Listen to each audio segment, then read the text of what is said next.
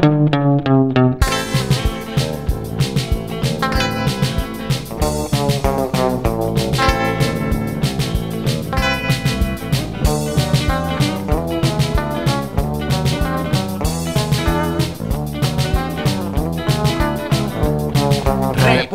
Tóxica. Del títere de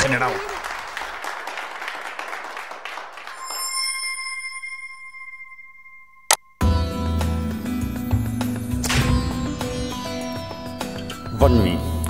Bona nit. Nuit, L'any euh, passat, la televisió pública anglesa BBC va realitzar un reportatge amb la col·laboració del Departament d'Arxius Secrets del Vaticà sobre la mort. És la primera vegada que la televisió entra a la casa de la mort. Us demanem disculpes per la qualitat de la imatge.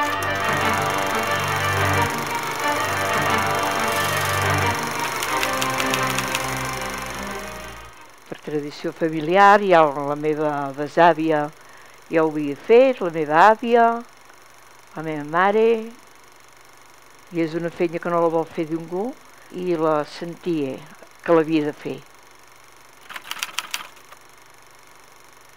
Doncs mira, primer de tot, m'aixeco, m'arreglo, vaig a l'ordinador, No, sí, jo en tinc un vaig a a l'ordinador, Sevilla i una ah, a Taigon.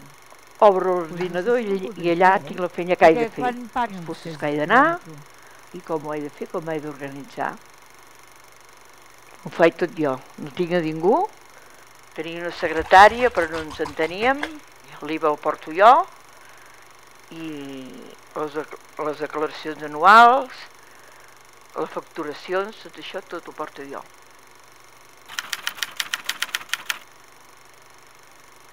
No pot ser això, la ciència aquesta. Has fet aquests quilòmetres, trobes el mort i venen els metges i te'l reanimen. Vai cunyasso, no? Llavors jo la meva feina com si no hagués res. Llavors això és una feina que perdo. Llavors ja he de tornar un altre cop i són dos viatges i a vegades és lluny que l'haig d'anar a buscar. I això no, no, no em surt a compte.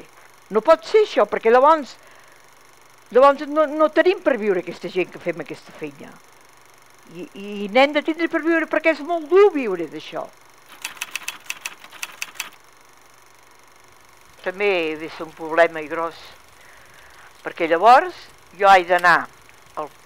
vaig a buscar la mort i resulta que el mort està suïcidat. Tu veus allà mig rient, penjat, i dius, i què collons rius ara? No sé, sembla que has fotit de tu amb els quilòmetres que has arribat a fer. I llavors en trobes un altre que saltar pel balcó i el trobes ben xafat a baix, vull dir que, que no... No, no, o sigui, fan de tot, eh? Fan de tot i tu putejar damunt i avall, i quan ets avall volen ser amunt. Vull dir, el govern s'hi hauria de posar mà i, i seriosament que en parlessin al Parlament o allà on vulguin, però que ho fessin. No, malament, és la ruïna. És la ruïna perquè no, no, no queda res. La cendra no res, no res. I llavors què pots ensenyar amb una cendra? Dius, jo dic és que no, no sé què s'ha inventat la gent de, de cremar una persona. Si és llenya, si és cendra o si és cendra d'una estufa, pot ser cendra d'una estufa. No, m'estan arruïnant. El tema del tsunami va ser superfort, eh? Superfort. I bueno, pues allà va ser arribar allà i bueno, remengar-te com podies i, i anar a buscar la mort de canalla, recient nascuts, vells i joves i bueno, se'n va girar una feina que, bueno, ajudeu-me, cada mes ajudeu-me, eh? I tan lluny, esclar. Allò de la meva mare va ser terrible.